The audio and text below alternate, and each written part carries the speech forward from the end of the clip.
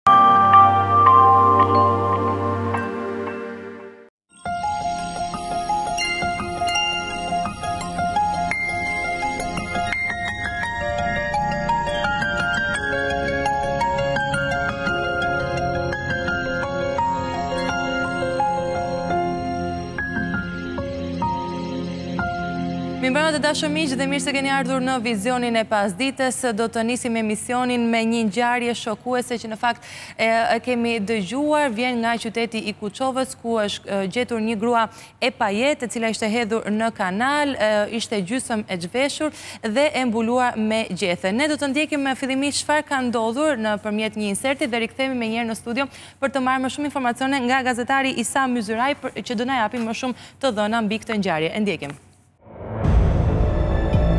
Mbrëmjen e djeshme një ngjarje e rëndë ka ndodhur në fshatin Kozar të Kuçovës. Gruaja e quajtur Fatime Suli është gjendur e pajetë, e hedhur në një kanal, gjysmë e zhveshur dhe e mbuluar me gjethe e rrogoza. Viktima konfirmohet që është vrarë nga një komshiu i saj, banor i fshatit Kozar. Ngjarja ndodhi mbrëmjen e djeshme në lagjen Havaleas të fshatit Kozar, në qytetin e Kuçovës. Familjarët e saj e kishin kërkuar prej disa orësh dhe pasi nuk po e gjenin kishin njoftuar për ndihmë policinë. Vetëm pas rreth një orë kërkimesh, gruaja gjashtëdhjetë vjeçe u gjend në një kanal, rreth një kilometër larg banesës së saj.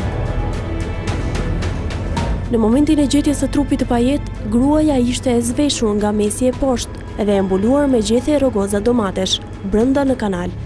Viktima, Fatime Suli u transportua gjatë natës drejt morgut të spitalit rajonal Berat, ku pas kryerjes së autopsisë mjeko-ligjore, rezultoi se shkaku i vdekjes së gjashtëdhjetë e tre vjeçares ishte asfiksimi nga mbytja me duar. Konfirmimi i vrasjes së gruas vuri në lëvizje policinë e Beratit, për të identifikuar dhe arrestuar autorin e kësaj ngjarjeje të rëndë. Pas pyetjes së dëshmitarëve në vendngjarje si dhe vëzhgimit të disa kamerave në bizneset përreth, u bë i mundur arrestimi i autorit të vrasjes, pesëdhjetë e tetë vjeçarit Fetah Marra, që rezulton të jetë komshiu i viktimës. I arrestuari është duke dhënë dëshminë e tij në polici, ndërkohë që burime të brendshme policore konfirmojnë se vrasja ka ndodhur pas një konflikti për një borxh në para, që komshiu i kishte familjes së gruas. Vrasjet për arsye banale janë kthyer në një makth që duket se nuk po mbaron. Njerëz që vriten për një copë tokë, për thyerje krenarie, e siç ishte edhe kjo e fundit, për disa para borxh. Jemi rikthyer në studio dhe ashtu sikurse thashë do të kemi në një lidhje Skype Isa Myzyraj, i cili është dhe aktivist i shoqërisë civile. Isa, përshëndetje. Të përshëndes. Isa, ne para pak ditësh në fakt kemi folur për një nismë ku janë vendosur emrat e grave të vrara nëpër rrugët e qyteteve, por sot ne rikthehemi për të folur për një rast i cili na ka shokuar. Çfarë ka ndodhur? Çfarë informacionesh ti ke? Po, në fakt është, kjo nuk është nuk është më vrasje në si nëse mund ta themi vrasje në familje, pra vrasje mhm. për shkak të xhelozisë ose vrasja e një gruaje nga nga bashkëshorti ose nga një anëtar tjetër i familjes, po. është një vrasje e cila ka ndodhur nga një komshi që që e ka ekzekutuar në në një mënyrë makabre nëse mund ta quajmë kështu komshijen e saj. E, të dhënat që vijnë nga Kuçova janë janë vërtet tronditëse, me thënë të drejtën sepse pasi nuk ka mjaftuar vetëm me vrasjen, por e ka hedhur në kanal dhe siç e thatë edhe ju, ajo është gjetur gjysmë gjysmë e zhveshur dhe e mbuluar me gjethe.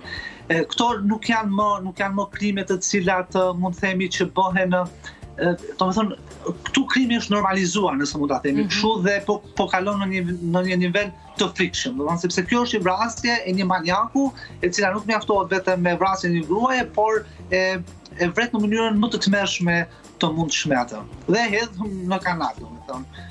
Policia në fakt ka konfirmuar që është vra nga komshiu i saj, që është banor i fshatit Kozar, dhe në fakt po flitet për një borxh me familjen. Çfarë dimë më shumë?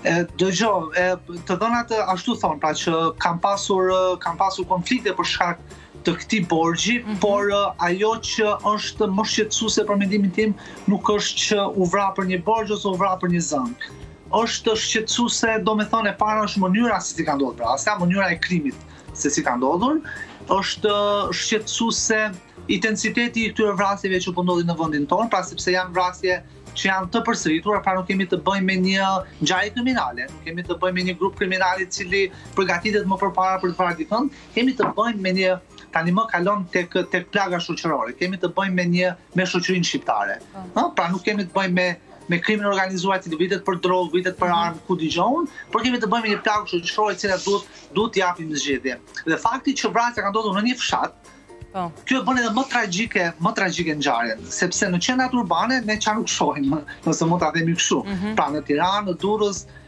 por të ndodhi në një fshat kjo gjë është vërtet, është vërtet tragjike dhe është vërtet shumë e rëndë. E, është në fakt ajo që the ti, ne e kemi parë dhe në kryeqytet, po po e shohim edhe në zona në zona të tjera, por më thuaj pak Isa, Dihet që familjarët e kanë kërkuar zonjën për rreth një ore dhe e kanë gjetur një kilometër larg shtëpisë pak a shumë. Çfarë thonë ata? Kemi informacione?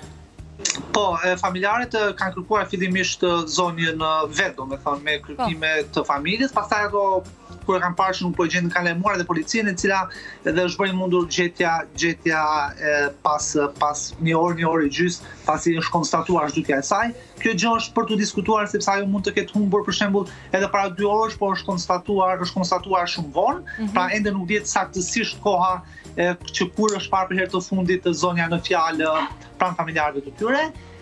Familjarët ende nuk kanë reaguar normalisht pas tronditjes së madhe që ato kanë pësuar, por kanë reaguar, si me thonë, komshinjtë dhe njerëz të njohur që, që i njofin të dy palët. Ato kanë konfirmuar që tani më palët mund të kenë pasur një konflikt për shkak të, të një borxhi, por nuk dihet asgjë më shumë në lidhje me këtë krim të tmerrshëm që ka ndodhur, pasi pritet tani më ndoshta dhe pas si me thënë pas varrimit se ne kemi traditë që të reagojnë edhe edhe familjarët familjarët e Ndërkohë 58 vjeçari që është vënë në pranga çfarë ka deklaruar?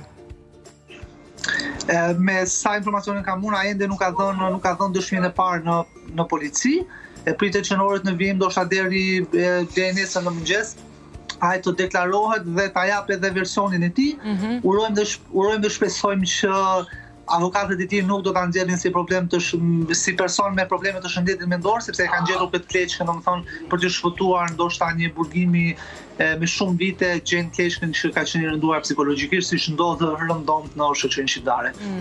E meqenëse jemi këtu tek shoqëria shqiptare Isa, edhe pse ndërmerren shpesh iniciativa dhe nisma që duan të sensibilizojnë shoqërinë, me sa duket diçka nuk funksionon. Me shoqëria shqiptare në fakt ka vite që është në një në një krizë të thellë shoqërore. Ne kemi parë vrasje, vrasje të tmerrshme vitet e fundit, muajt e fundit. Ne kemi parë vrasjen e një e një fëmije në Fier, ne kemi parë vrasjen e një gruaje në derën e gjykatës në në Elbasan vitin që ka kaluar.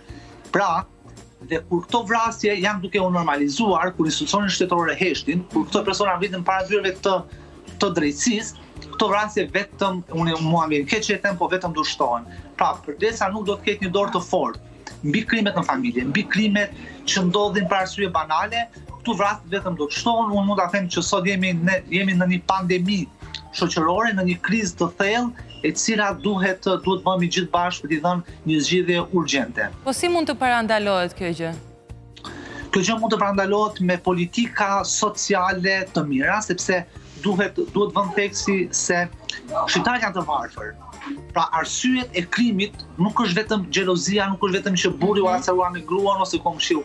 Janë thelbësore, janë janë ekonomike. shumica e tyre po them se nuk po flas për vrasjet e krimit po. ose kështu. Pra janë sepse shqiptarët janë të varfër. Duhen politika sociale, duhet politika rehabilitimit, duhen që mhm. gratë ta kuptojnë në çdo cep të Shqipërisë dhe jo vetëm unë e ti në Tiranë, që gratë kanë të drejtat e tyre, që gratë janë të barabarta me burrat. Dhe kjo frymë, nëse mund ta themi kështu, ende nuk ka arritur në ato zonat e thella malore, ose në zonat periferike ku gratë shifen vetëm si si një mjet që duhet të mm. mbajë fëmijët në shtëpi, duhet të rrinë në shtëpi, të bëjë punët e shtëpisë, t'i gatuajë burrit dhe burri të gjejë gjithçka gati kur të vijë në kur të vijë në darkë në shtëpi. E kuptoj. Isa, a keni ndërmend të uh, ndërmerrni nisma të tjera për të sensibilizuar opinionin publik sepse vazhdimisht ashtu sikurse thashë nismat janë, por nuk po ndryshon diçka në në, në shoqërinë tonë. Dëgjon, është është e vështirë të flasësh apo ndryshon apo jo.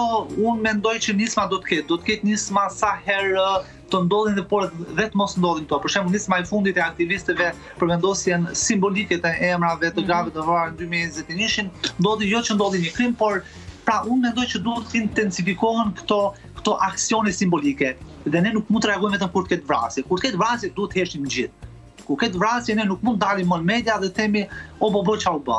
Ne duhet në vazhdimësi të punojmë, aktivistët e shoqërisë civile kanë këtë barrë shumë të madhe, institucionet shtetërore nuk duhet vetëm të vajtojnë pasi të vdesin, por duhet me politika serioze sepse duhet të themi që i kanë të gjitha mekanizmat në dorë për ta bërë këtë shoqëri më të mirë, por ato zgjedhin që të të dalin në në fund të ditës në ekranet televizive, të vajtojnë dhe të marrin ca vendime që do ta dënojnë vrasësin sipas sipas ligjeve të vendit. Mm. Nuk mjaftojnë këto. Nuk, nuk mjaftojnë. Duhen duhen masa më të ashpra, duhet që sistemi i drejtësisë të bëjë punën e tij, që një i dënuar ose një i akuzuar për një krim të rëndë pasi të lirohet duhet të të mbahet nën vëzhgim, sepse ne kemi pasur përsëritje të krimeve. Pra, nëse një i dënuar lirohet, ai duhet të mbahet nën vëzhgim. Nuk mund të lihet një person me rrezikshmëri të lartë shoqërore të endet rrugëve të Tiranës ose rrugëve të Kuçovës për ditë.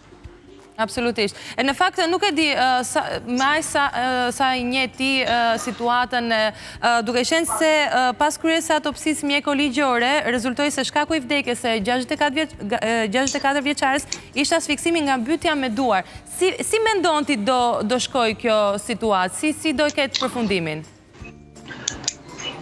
Ë përfundimin tani nuk nuk nuk mund ta them se si do e ketë përfundimin. Ë unë mendoj që ai person do dënohet, padyshim do dënohet mm -hmm. pasi është një një vrasje makabre, por nuk mund të mjaftohemi me kaq. Çfarë mund të bëjmë ne, çfarë mund të bëjë drejtësia që kjo ngjarje të mos përsëritet më, sepse ka ndodhur një mbytje, një zhveshje, një hedhje në kanal, domethënë është ngjarje përtej imagjinatës. E kuptoj. Shpresojmë që drejtësia të bëjë punën e saj dhe ta vendosi drejtësinë. Dhe të falënderoj shumë Isa për informacionet. Faleminderit ju. Përshëndetje. Ne do shkojmë në pak minuta publicitet dhe jemi pas pak në pjesën e dytë.